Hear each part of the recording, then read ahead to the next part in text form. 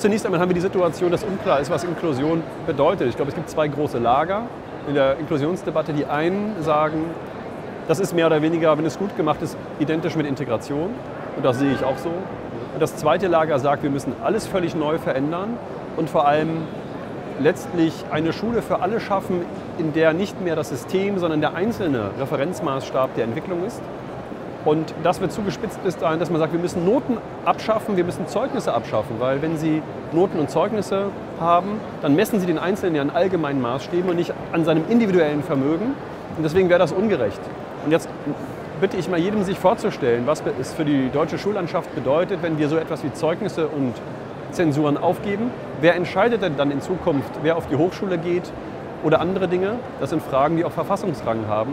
Das heißt, wer die inklusive Schule in diesem radikalen Sinne will, der zerstört zugleich die gesellschaftlich notwendige Funktion, die die Schule hat, nämlich die Allokation der Professionen auf die einzelnen arbeitsteiligen Körper der Gesamtgesellschaft.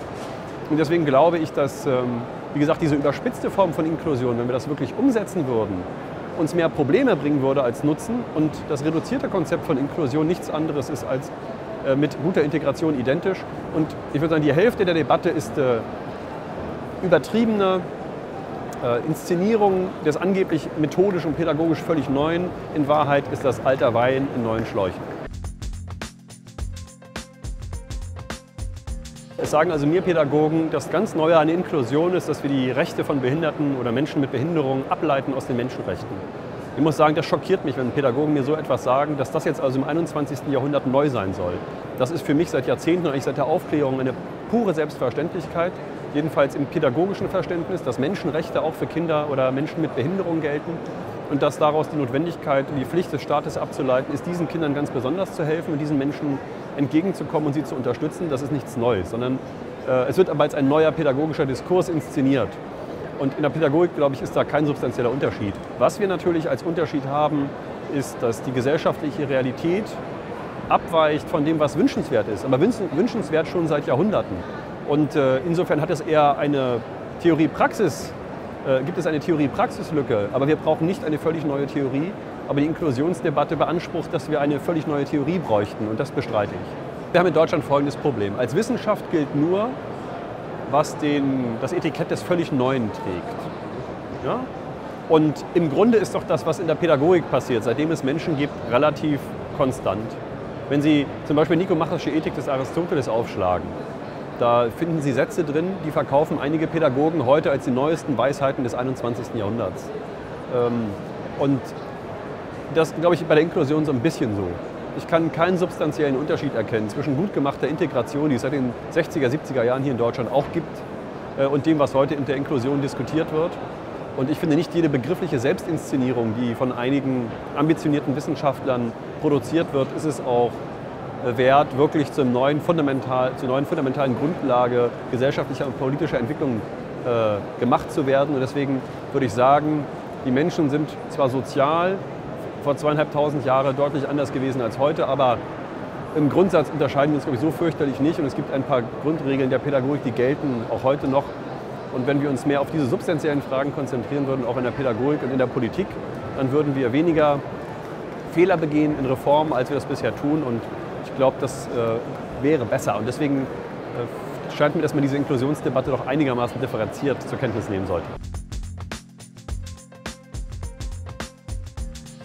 Wir haben da sicherlich Defizite, wie alle anderen auch, das kann man so sagen. Im Kindertagesstättenbereich ist das eher nicht so. Wir haben knapp 1500 Kinder, die mit Behinderungen äh, in den Einrichtungen sind und davon sind etwa nur 200 in Sondereinrichtungen. Die anderen werden alle integrativ in Kindertagesstätten betreut und äh, gebildet und erzogen.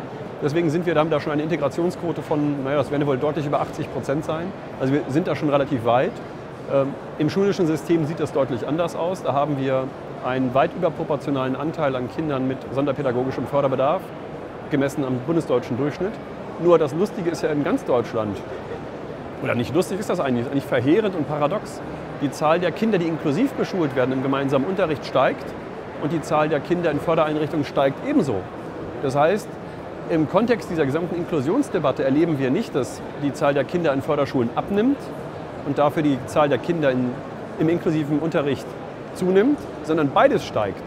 Und insofern könnte, das ist jetzt eine provokante These, die Inklusionsdebatte offenbar auch dazu beitragen, besondere Besonderheiten aller Orten zu entdecken und überhaupt erst diese Etikettierung mitzuschaffen, die man angeblich bekämpfen will. Wenn sich die Soziologie der Behinderung anschauen, es deutliche Zusammenhänge gibt zwischen dem sozialen Hintergrund einer Familie und der Wahrscheinlichkeit, dass Kinder auch mit Behinderungen zur Welt kommen oder im Laufe ihres Lebens entsprechenden Entwicklungsrisiken unterliegen. Es gibt diesen statistischen Zusammenhang, den die Wissenschaft belegt, den erfinde ich nicht, sondern muss ich zur Kenntnis nehmen. Und da die sozialen Probleme in einem Land wie Mecklenburg-Vorpommern größer sind als in anderen Ländern, wäre es geradezu ähm, unlauter zu behaupten, dass bei uns nicht auf Dauer auch mit größeren Problemen zu rechnen ist als in anderen Bundesländern. Und wir haben ja eine höhere Quote.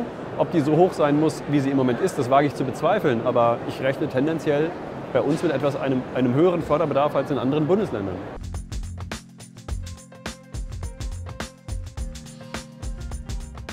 Erstmal versuchen wir überhaupt herauszufinden und zu klären, was mit der UN-Behindertenrechtskonvention überhaupt gemeint sein könnte. Denn die ist ja so abstrakt, äh, dass sich daraus so gut wie nichts ableiten lässt für konkrete Politik. Aber jeder, der seine Privatmeinung politisch durchgesetzt haben möchte, beruft sich auf dieses rechtliche Dokument. Und ich empfinde es als erheblich misslich, dass das ein Prozess ist, der nicht von unten gewachsen ist, sondern umgekehrt von oben verordnet wird. Weil das natürlich dazu führt, dass sich viele nicht mitgenommen fühlen und dass wir erhebliche Probleme haben bei der Umsetzung dieser Prozesse. Vor allem Lehrer beschweren sich, dass sie mit Aufgaben konfrontiert werden, auf die sie nie vorbereitet wurden, für die sie nie ausgebildet worden sind. Und äh, in dieser Frage stehe ich auch an der Seite der Lehrer, das ist so. Und äh, das, was wir in Mecklenburg-Vorpommern versuchen zu organisieren, ist genau das nachzuholen, was man hätte eigentlich ähm, machen müssen, bevor diese UN-Behindertenrechtskonvention in Kraft getreten ist, nämlich miteinander zu diskutieren, pädagogische Sichtweisen auszutauschen, ein gemeinsames Verständnis von Inklusion zu entwickeln. Und wenn dies gelungen ist, auch dem Staat und die Verwaltung daraufhin umzuorganisieren, Lehrerweiterbildung anzubieten, Unterstützungssysteme zu organisieren, die Lehrerausbildung in der Universität neu zu ordnen.